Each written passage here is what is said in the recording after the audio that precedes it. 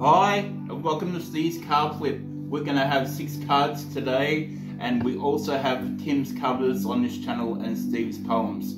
So take this as it resonates, you know, what works for you works for you, and what doesn't, doesn't, it may work at another time.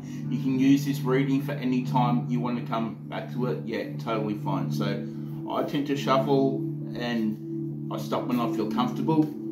So I'll get shuffling. I hope you're all well ask God and the animals what message do they have for everybody at the moment. Stop. Okay. We have the wood ox and it says knowledge brings wisdom. Okay.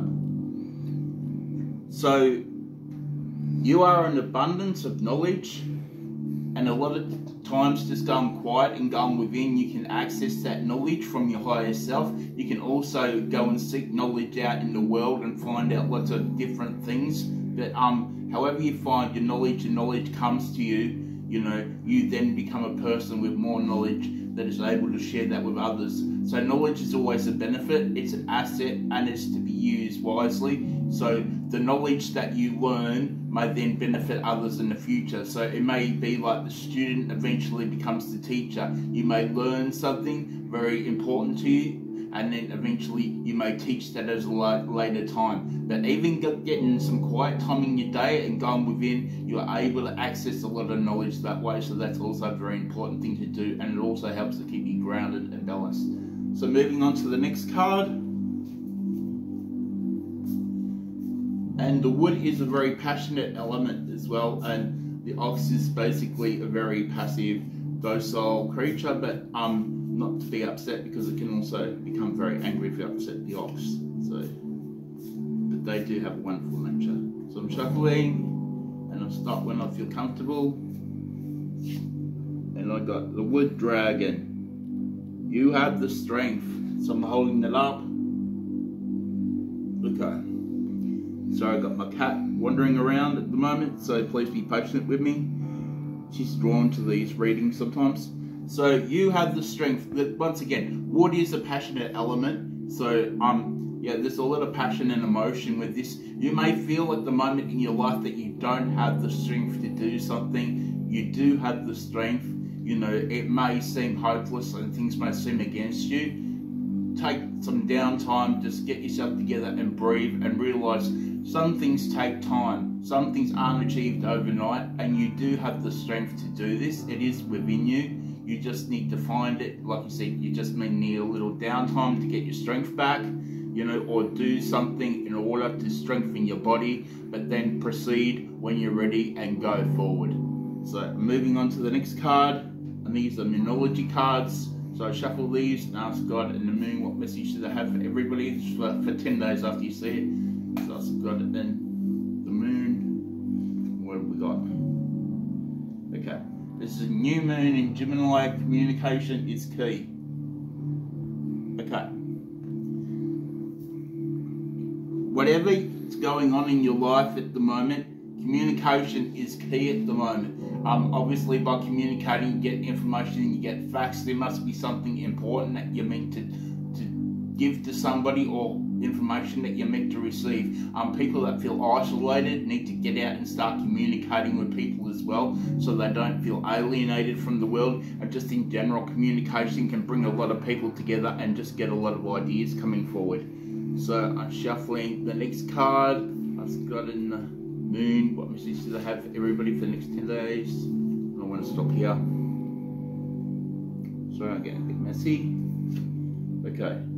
A fiery climax approaches. Hold it down a bit. Sorry, I'm a bit high. So I'll put that here. Okay.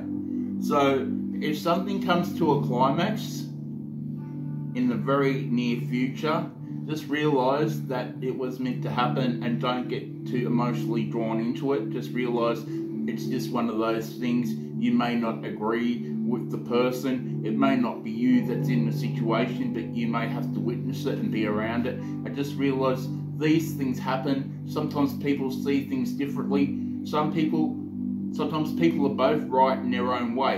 Um, just look for the bigger picture in the situation. You may have to be the bigger person and just do you and sort out what you feel is right for you. So I'm shuffling the cards once again. Ask God and the Moon, what message do they have for everybody? The next 10 days. Oh, sorry, gotta change cards. I'm getting confused. Okay, these are affirmation cards, but I like them, they're cool. So I shuffle these cards, ask God and butterflies, what message do they have for everybody at the moment? 10 days after they see this. Okay. So I'll read this, this bit of writing. Every day I am stronger, braver, and wiser. I live and grow in harmony with the universe. Okay, so I'll hold that down. So this is very similar to the other message that we got before. So this is telling you that you grow stronger and wiser as a person, which ties in with a lot of the cards we actually had. So um, you grow as a person as you go throughout life. Gain wisdom and strength and experience. So that is a real cool message, and it is something that we need to realize. You know, sometimes we don't feel strong, but we actually are strong, and we just need to get ourselves and get our energy together. But we're gaining wisdom and knowledge and experience as well. So that's a cool thing. So shuffle for everybody for up to 10 days and see what message we've got for everybody. And this will be my last card. Okay.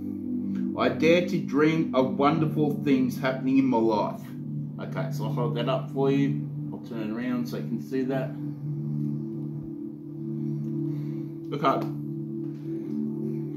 This card is telling you to dream of wonderful things in your life and the fact that you can do wonderful things in your life. And sometimes it's just how we see things.